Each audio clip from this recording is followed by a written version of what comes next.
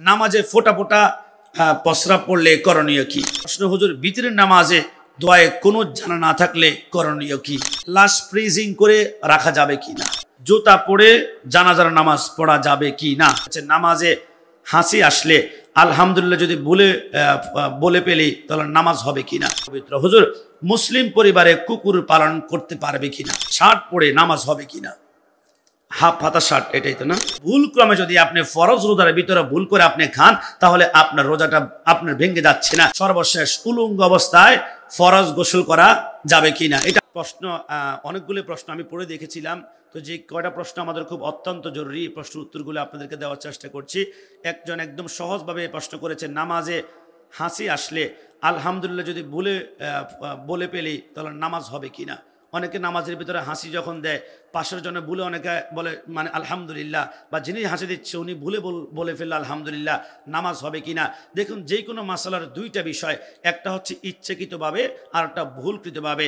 আপনি ইচ্ছাকৃতভাবে রোজা থাকা অবস্থায় যদি আপনি খাওয়া দাওয়া করে ফেলেন, তাহলে আপনার রোজা তো শেষ। কিন্তু ভুল ক্রমে যদি আপনি ফরজ রোজার ভিতরে ভুল করে আপনি খান, তাহলে আপনার রোজাটা আপনার ভেঙে যাচ্ছে না। ঠিক সেইমভাবে যদি আপনি ভুল করে আলহামদুলিল্লাহ বলে পেলেন তাহলে আপনার নামাজের কোনো সমস্যা হবে না। কিন্তু ইচ্ছাকৃতভাবে যদি আপনি আলহামদুলিল্লাহ বলেন, তাহলে সাথে সাথে আপনার নামাজ ভেঙে যাবে। কারণ নামাজের ভিতরে দুনিয়ার কোনো শব্দ উচ্চারণ করা যাবে না।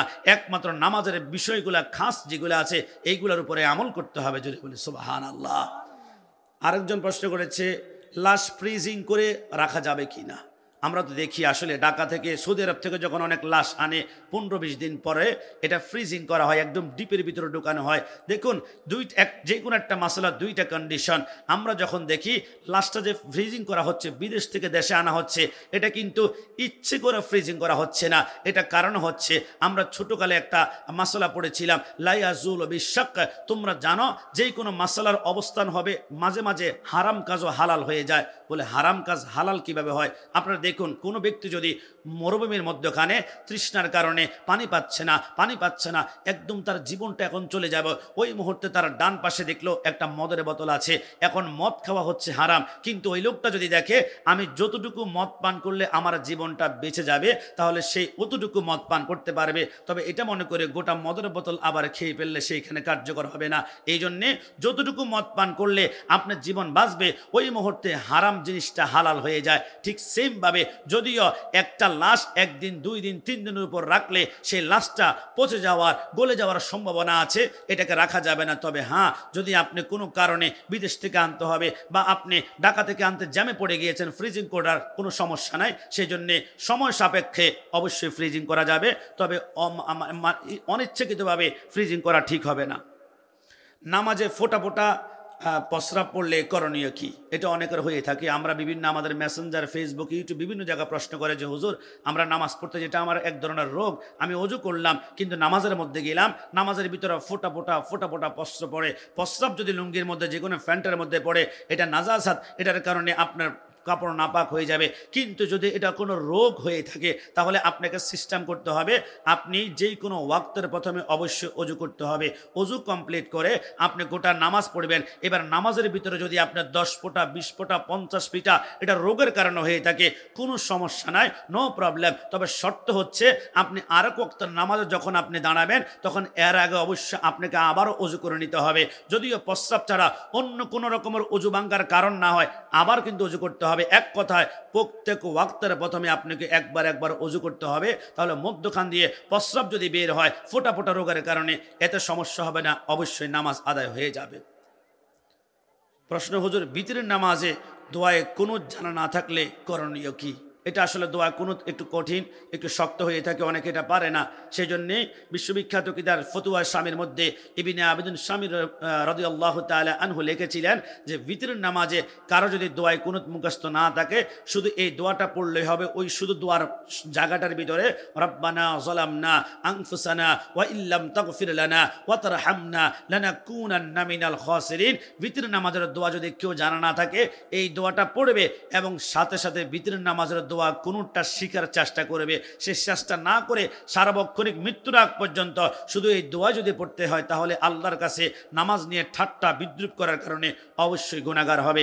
এই জন্য যদি জানা না থাকে, তাহলে আমরা রব্বানা জলামনা আংফুসানা ওয়াইল্লাম তাকফিরলানা এই আয়াতটা আমরা পড়তে পারি আর ওই দোয়ায় কোনো আমরা শিকার চেষ্টা করতে পারি।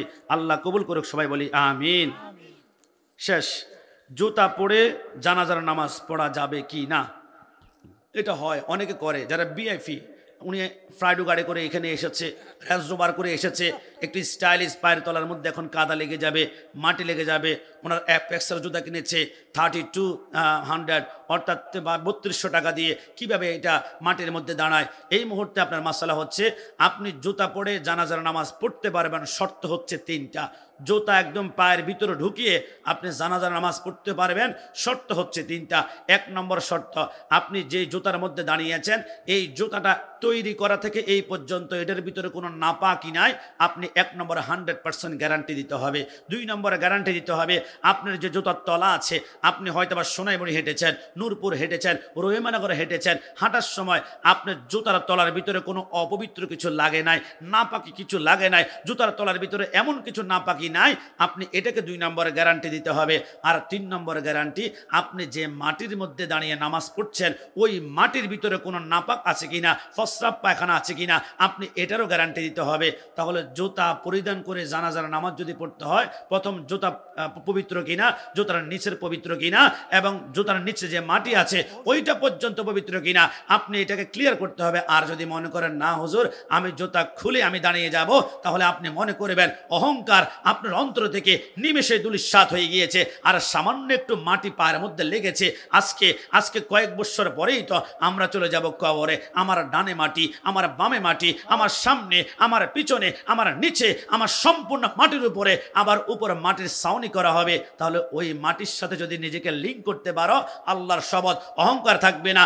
এই মুহূর্তে যারা বসেছেন, আমার মনে হয় এখানে কোটিপতি, লক্ষপতি পাওয়া যাবে না। কারণ যারা কোটিপতি, চেয়ার দিলে হয়তো বা এই জায়গার মধ্যে বসতো, সোফা দিলে বসতো, হয়তো বা লাক্সারি কোনো চেয়ার দিলে। কিন্তু এইখানে যারা আছে, আমরা সবাই মধ্যবিত্ত ফ্যামিলি যাদের অন্তরে অহংকার নাই রিক্সার ড্রাইভার বলেন দিন মজুর বলেন এই জন্য আমার রসুল বলেছে, আমি যখন জান্নাতে গিয়েছিলাম, রসুল বলে, আল্লাহর কসম, আমি দেখেছিলাম একশো পার্সেন্টের ভিতরে প্রায় সেভেন্টি বা এইটি পার্সেন্ট মানি চার বাগের তিন ভাগ জান্নাতে যারা আছে সবাই হচ্ছে গরিব আর গরিব জুড়ে বলে সোবাহান আল্লাহ এই জন্যে আমরা যদি জুতার উপরে জানাজার নামাজ দাঁড়িয়ে পড়তে চান জুতা পড়ানো অবস্থায় তাহলে অবশ্যই মনে রাখতে হবে আপনার জুতা পবিত্র জুতার তলা পবিত্র আর মাটি পবিত্র। হুজুর মুসলিম পরিবারে কুকুর পালন করতে পারবে কিনা?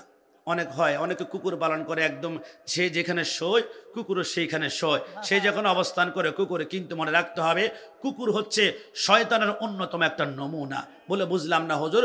শয়তানের অন্যতম নমুনা মানি হাজরতে আদম আলী আসসালামের বডি যখন তৈরি করা হয়েছিল, ইবলিস তখন মোয়াল্লিমুল মালাইকা। ইবলিস বলে, আমার উপরে এই লোকটা একশো বিশ হাত লম্বা, আমার উপর আবার কোনো পাওয়ার দেখায় কিনা? এখনও তার ভিতরে রসুল্লার নূর মুবারক সৃষ্টি, ঢুকানো হয় নাই। ইবলিস বলে, একদিন আদম সফিউল্লাহর বডির ভিতরে ঢুকলো, অন্ধকার দেখার কারণে ইবলিস বডি থেকে বের হয়ে আদম সফিউল্লাহর বডির ভিতরে থুতু মারলো। মানে এটা অন্ধকার ভিতরে। আমার আল্লাহ গোস্বার মধ্যে চলে গেলেন। আমার আল্লাহ বলে, আমার পয়গাম্বর আমার নবীর গায়ে থুতু পেলেছে। আমি আল্লাহ বরদাস্ত করতে পারি না। এই জন্য আমার আল্লাহ জিব্রাইলকে বলল, জিব্রাইল, যাও।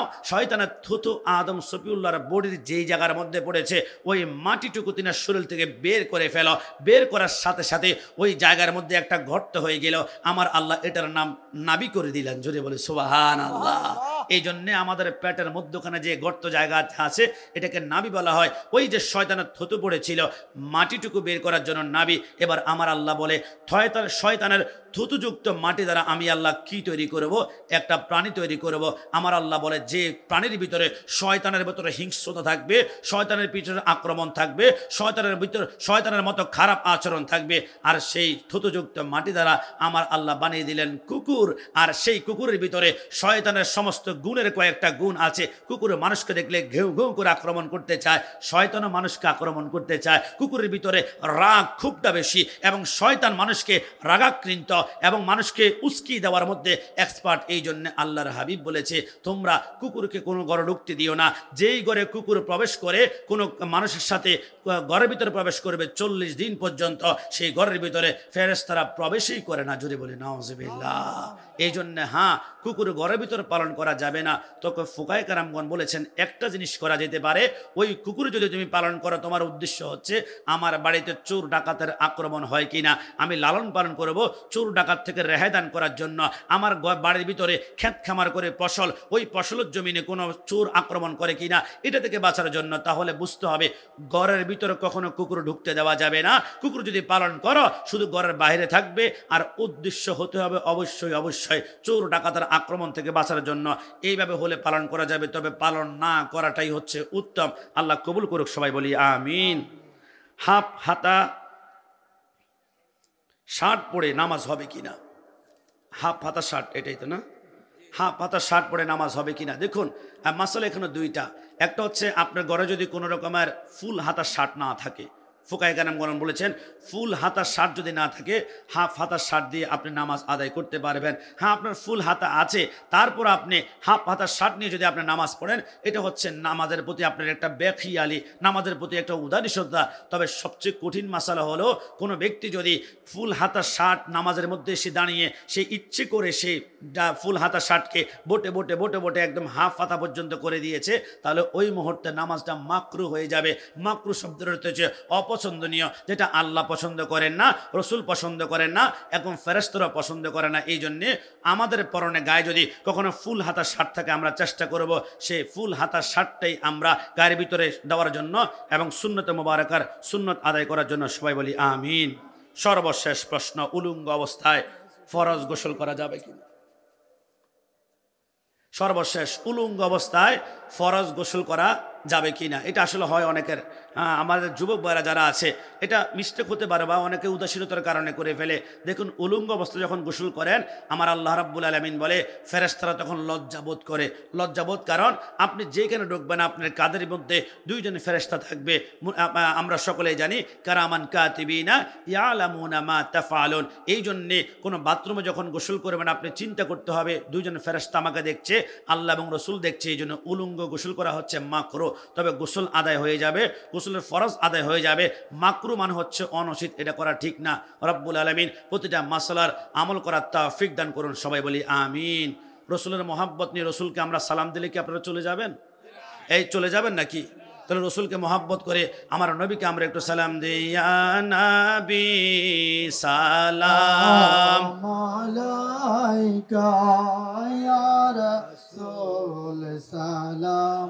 عليك يا حبيب. سلام عليك صلوات الله على سيدي يا رسول الله. لا لا لا يا حبيب الله শ্রী রহল মাদিনা গোবা মদিনা মোহবত রোহে